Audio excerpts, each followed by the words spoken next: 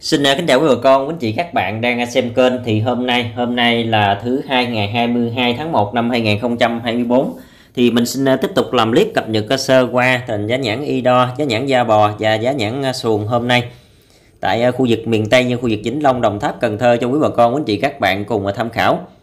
Thì ngoài cập nhật hình giá nhãn thì mình còn có làm thêm những clip cập nhật hình giá cả của một số là nông sản khác trên kênh.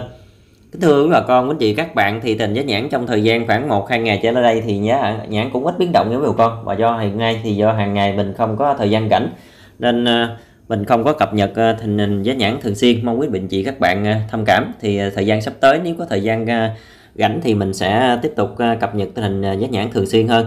Tình giá nhãn hôm nay tại khu vực miền Tây, khu vực Vĩnh Long, Đồng Tháp, Cần Thơ, Hậu Giang thì giá nhãn những ngày à, cuối năm này thì nhìn chung là tương đối ổn định, đặc biệt là ở mặt hàng nhãn xuồng hiện nay thì đang có giá rất là cao.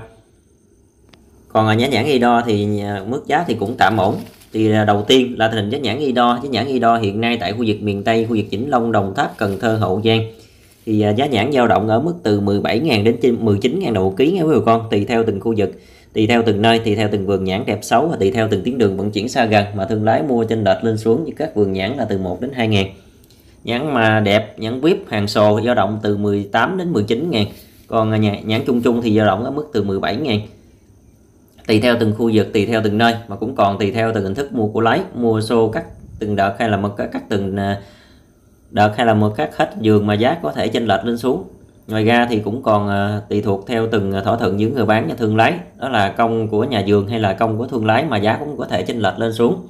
Thì nhìn chung là giá nhãn hiện nay dao động ở mức từ 17 đến 19 ngàn đồng một ký của con, đối với nhãn y đo còn giá nhãn xuồng hiện nay thì đang có giá rất là cao. Giá nhãn xuồng hiện nay thì dao động ở mức từ 38 ngàn đến 40 ngàn đồng một ký, giá tại khu vực Vĩnh Long, khu vực Đồng Tháp.